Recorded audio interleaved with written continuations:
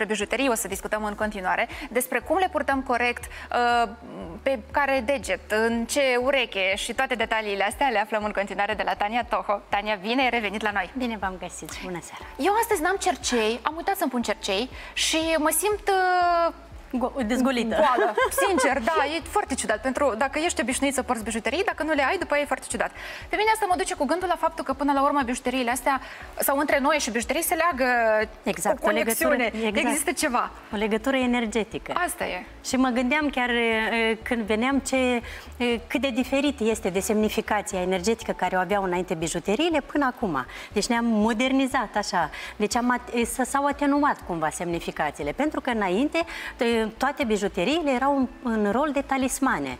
Deci noi știm că se, se purtau brățări, chiar și vechi, să zicem, din epoca poliolită, la fel, și brățările erau încrustate, li se dau o semnificație oarecare, inelele la fel, deci nu pur și simplu oamenii purtau metale sau că chiar și colierele la fel. Noi știm despre coroanele care erau destinate doar împăraților, pe când fetele așa de speță mai joasă, urât sună, dar um, să, să zicem mai um, țărâncuțele, da, puteau să uh, poarte coronițe din flori. Acum o să mergem, noi știm că avem cercei, brățări, coliere, lănțișoare, se mai poartă și brățări la picioare și mai avem brățări la mâini și toate au semnificație diferită. Pentru că noi trebuie să ducem cont că este o legătură energetică.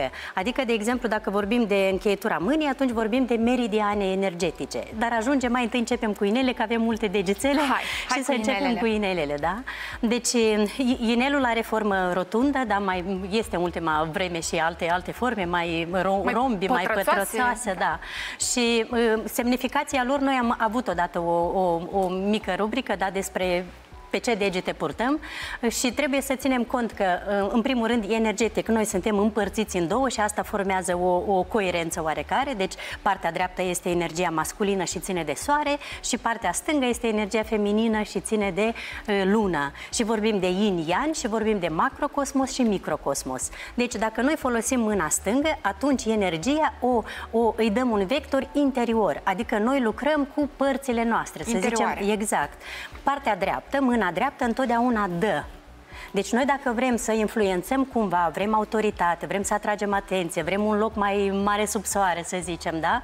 Vrem să căpătăm ceva din afară, noi întotdeauna purtăm accesorii pe mâna dreaptă. Sau să zicem, evidențiem urechea dreaptă, da? Voi ați văzut că mulți oameni poartă doar o ureche sau într-o ureche cercel sau sunt de diferite forme acum în ultima vreme. Ca atare este o semnificație cu mult mai, mai profundă. profundă aici, exact. Și mâna stângă, de exemplu, purtăm pe mâna stângă atunci când vrem să uh, uh, pacifizăm ceva în lăuntricul nostru sau vrem să echilibrăm ceva sau să zicem de protecție. Mâna dreaptă nu se poartă inele pentru protecție, întotdeauna mm. doar pentru a atrage ceva. Și uh, la noi se poartă inelul, nu știu, de căsătorie, să zicem, pe mâna dreaptă, când ca tare noi trebuie să-l purtăm pe, pe mâna stângă. Sunt tendințele astea în Europa, catolicii la fel poartă pe, pe mâna stângă. Și când vorbim de degete, de exemplu, dacă ne ducem un pic în istorie, atunci pe degetul mare, acum se poartă, chiar și fetele poartă, purtau inele doar uh, uh, ierofanții, să zicem, înțelepții, cei care transmiteau informații. Pentru că este inelul Duhului, da? Este energia Duhului. Și atunci uh, noi purtăm aici când vrem să medităm, vrem să interiorizăm, vrem să fim cu mult mai profunzi în ideile noastre, da? Dar dacă, de exemplu, schimbăm mâna, punem pe mâna dreaptă, atunci nouă ne dă mai mult curaj, mai mult adrenalină, ne dă un vector oarecare. Pentru că uh, și ea semnificația de acum a lui Marte. Deci curajul și adrenalina, focul ăsta, este energia de acum solară. Uh-huh. Spre exemplu, dacă ne uităm la degetul arătător, întotdeauna noi arătăm, de asta și se cheamă arătător, deci este degetul lui Jupiter și ține de apă. Fiecare deget își are propria sa energetică, stihie și uh, este favorizat, să zicem, tutelat de o planetă anume. Și dacă luăm degetul arătător, atunci va fi Jupiter. Și Jupiter este planeta abundenței. Dacă punem pe mâna dreaptă, când vrem să obținem autoritate, putem să punem pe degetul arătător um, pe inelul arătător de pe mâna dreaptă. Când vrem să obținem, să zicem, binecuvântări pământești sau influență mult mai mare. Dar dacă punem pe mâna stângă, se schimbă de acum semnificația, pentru că aici ne duce la intuiție, la omul care vrea să țintească ceva și să rămână acolo, nu în zadar noi arătăm. Adică pe ceva anume, rămânem cumva în capcana unei idei acolo, da? Și știm de acum, degetul mic este al lui Mercur și al lunii și aici ține de intuiție și de abilitățile de vorbire Și atunci, dacă omul, de exemplu, nu prea le are conturate abilitățile astea sau, sau vrea mai mult să, să interiorizeze anumite procese, să le înțeleagă mai profund, atunci punem pe mâna stângă. Dar dacă vrem să atragem banii rapizi, să zicem, pentru că Mercurii este guvernatorul, așa să zicem, a proceselor astea financiare, atunci punem pe mâna dreaptă. Tot deci pe degetul mic. Exact. Deci ne-am înțeles cum stă. Uh-huh. Știm că degetul ăsta este a, so a soarelui și a Venerei. Nu în zadar noi purtăm aici inelul de câsnicie pe degetul Venerei și e mai bine să purtăm pe partea stângă, pentru că aici ține mai mult de partea noastră lăuntrică. Iubirea totuși nu, nu o etalăm, nu o afișăm așa în afară și nu vrem să tragem, uh, să atragem, să zicem, influență din asta romantică romantică din afară, dar noi o trăim în doi, e vorba de cuplu. Și de aceea noi purtăm pe degetul ăsta. Dar fetele nemăritate ar putea să poarte, ca să atragă din mediul înconjurător, să zicem, da? Ar putea să pună pe mâna dreaptă. Ce mediu da? Da. Pes, pescuim. pescuim dragostea, da? Așa, deci și plus pe... că este primăvară acum, de ce nu? Deci pe uh, dreapta? Uh, Atra exact, uh-huh. atragem. Și pe, pe stânga știm că este partea asta mai fină. Uh-huh. Exact acela, același lucru putem să facem dacă suntem mai masculine sau avem multă agresivitate lăuntrică sau avem accese de furie, să zicem, atacuri de panică. Atunci nu, nu mai evidenție mâna dreaptă. Scoatem inelele de pe mâna dreaptă și punem pe, pe mâna stângă. Uh-huh. Și degetul lui Saturn, că am rămas la ăsta ultimul, Care și despre el ăsta din mijloc, uh-huh. da, despre el am vrut să vorbesc pentru că de, de multe ori oameni oamenii pun uh, inele pe degetul ăsta și nici nu știu că semnificația energetică este diferită. Uh, degetul lui Saturn se pun de obicei inelele primite din moștenire, să zicem, sau dacă tu aparții unui clan sau unui egregor. Să observați uh, grupurile astea, să zicem, masonii, um, alte grupuri care au o tematică anume, care promovează ceva, nu știu, au o ideologie. Întotdeauna, deci, este evidențiat degetul mare și degetul ăsta. Dar ați observat că și degetul mic. Aici noi, noi vorbim de abilitățile astea de influența în masă.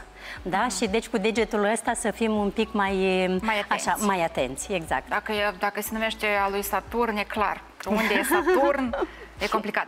Dar ne-ai dus Așa. un inel. Deci eu v-am adus un inel să, să vă zic că sunt bijuterii, accesorii, care absolut nu au nicio semnificație. Noi le purtăm pur și simplu ca accesorii. Să zicem, eu azi mi-am pus uh, cerceiușii ăștia fără nicio semnificație mm. anume. Deci e pe post așa de decora urechii, să zic așa. Dar uh, noi putem să le dăm bijuteriilor semnificația noastră. Când, de exemplu, ne-a dăruit fica, să zicem, sau noi dăruim cuiva și noi acolo punem o, un, să zicem, o, o, ce, ceva energetic, da? Îl umplem o emoție, cumva. un mesaj, Exact, poate. da. Sau când avem o stare de bine și ne cumpărăm ceva. Sau iubitul, de exemplu, exemplu, când îi dăruie iubitei sale un inel, nici de cum inelul acela, fie ce nu s-ar întâmpla între ei, nu le dă, nu, nu dărui unei prietene sau nu trebuie să-l poarte nimeni, pentru că este legătura între doi. Omul i-a dat femeii cu o emoție anume, da? Adică noi putem să implementăm acolo un, un mesaj energetic uh-huh. și el rămâne. Și exact când primim bijuteriile de la alții, noi trebuie să purificăm da? Dar când vorbim de, de, de acum, de simboluri, să, să zicem, ezoterice sau, de exemplu, de pietre prețioase, pietre semi-prețioase, atunci noi, noi vorbim de acum inelul sau de acum bijuteria are în sine, deci, mesajul ăsta energetic. Și a, aici am adus un inel care e, e și costisitor, da? dar plus la asta este foarte semnificativ. Deci aici noi avem două capuri de dragon, aici avem spirala asta care știți voi ce semnifică și plus la asta în spate spate, dacă vedeți, este și oh, o steluță. Sta. E da. steaua lui David? Exact. Mm-hmm. Și cu inelele astea deseori noi le cumpărăm, mai ales Pot? acum când da, mergem în Egipt. Exact, când mergem în Egipt. Deci noi vedem oh, încrustate, în, încrustate diferite simboluri și noi nu, nu prea știm noi ce este în spatele, despre ce sunt simbolurile astea. Dar să știi că foarte mult influențează câmpul nostru energetic. De exemplu, când vorbim de brățări, trecem la alt, mm-hmm. la alt accesoriu care noi îl purtăm acum. Poți să pun pe deget? Da. Deci, de obicei, omul aici, la încheietura mâinii, noi vorbim de meridiane energetice. E frumos, stă bine. Da, îmi place. Deci avem aici trei, trei liniuțe la încheietura mâinii. Deci prima ține de, de imunitate și de sănătate, a doua ține de abilități, abilitățile în vorbire și de succes și a treilea ține de, de liderism. De obicei omul, deci minimum are trei. Am întâlnit și cu două, sunt oameni care au patru, cinci, de acum este altceva. Ale mele nu și ce fac brățările? Deci brățările um, protejează întotdeauna, nu atrag, dar protejează. Deci tu astup meridianele astea, deci ele trebuie să stea la încheietura mâinii, mâinii ce ați observat clanurile înainte cu, um, să zicem, triburile, purtau cu mult mai multe brățări sau brățările late, da.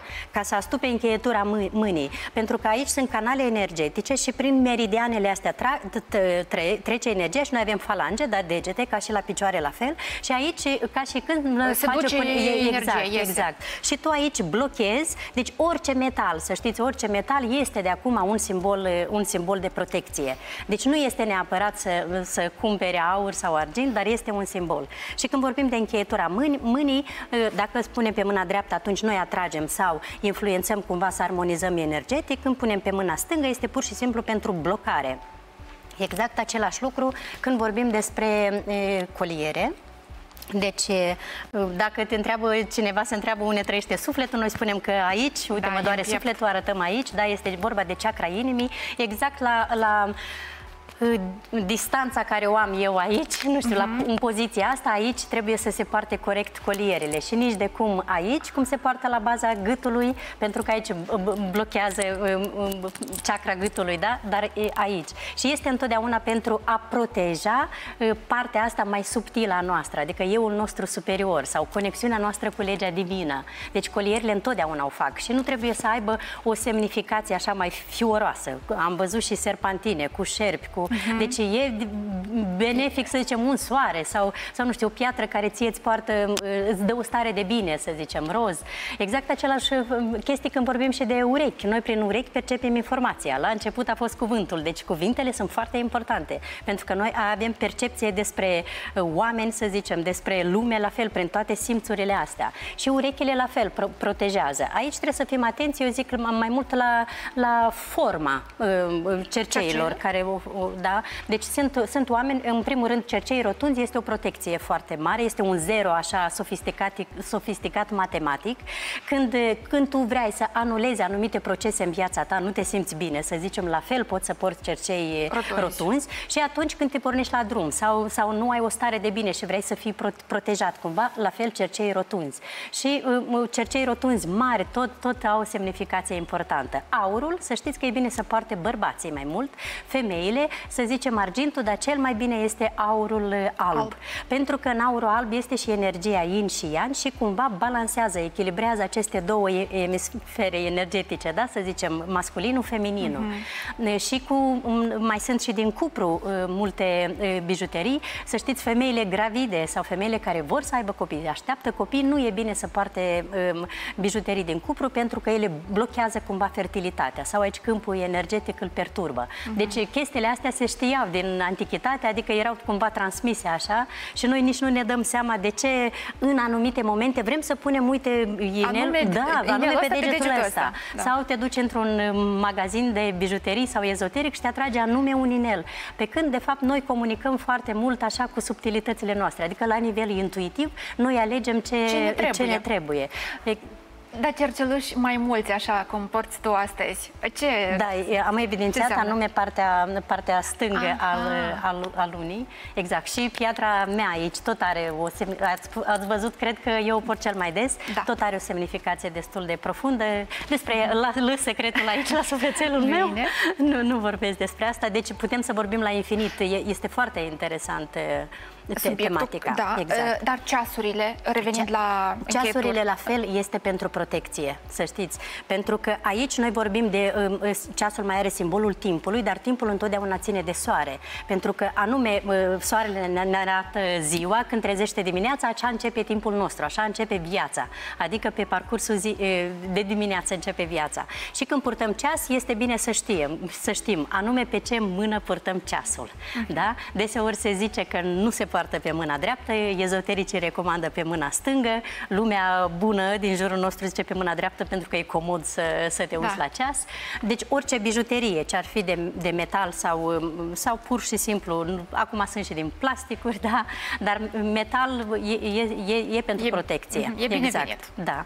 Și să ducem cont de argint și de, de aur, aur aici. Da, și aur aurul pentru... foarte mult uh, absorbe energetic, mm. de aceea noaptea scoteți-l uneori. Sau când, când când vezi de acum că, te, că ești mai apatic de felul tău sau oamenii depresivi, cumpărăți un lănțișor de aur sau cumpărăți un ineluș de aur și o să vezi cum uh, aura asta energetică se schimbă. Aurul cel mai, cel mai ușor absorbe energia da. negativă. Și ca până și asta știu de, din, uh, din popor, din de la bunica mm-hmm. mea, știu chestia asta legată de mai, puneți, mai vorbim, mai, mai dezvoltăm. Ceva. Exact, da. mai dezvoltăm. Sigur. Subiectul este foarte relevant așa. Mulțumim tare mult, Tania, mulțumesc. pentru că ați fost uh, cu noi în seara asta. Te mai așteptăm și o primăvară frumoasă în continuare. Și pe la fel. Mersi tare mult.